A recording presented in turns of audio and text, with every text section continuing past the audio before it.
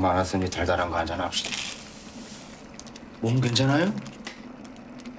기왕 이렇게 된 거 앞으로 안에서 잘 지낼 생각해요. 어? 우리끼리 얘기로 김성태 같은 그런 쓰레기 건드려서 추가로 징역 떨어지면은 본인만 손해야. 어? 근데 그 우리 4816은 내가 조금 그 알아보니까 해외에서 큰 돈 굴리던 덤터리 시던데.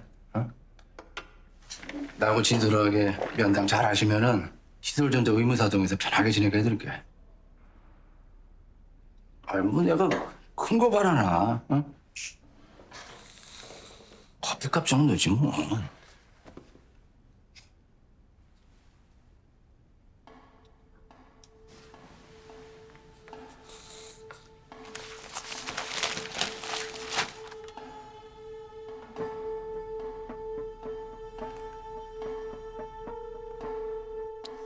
여의도는 하한가, 어, 특수부는 상한가.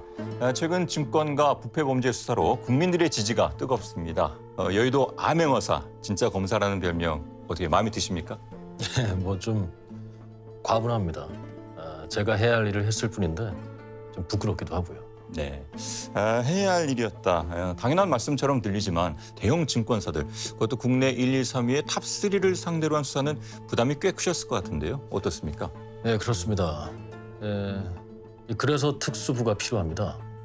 아, 이러한 공매도 비리 사건인 경우에는 다수의 선량한 개미 투자자들까지 직접적인 피해를 끼치는 민생 범죄입니다.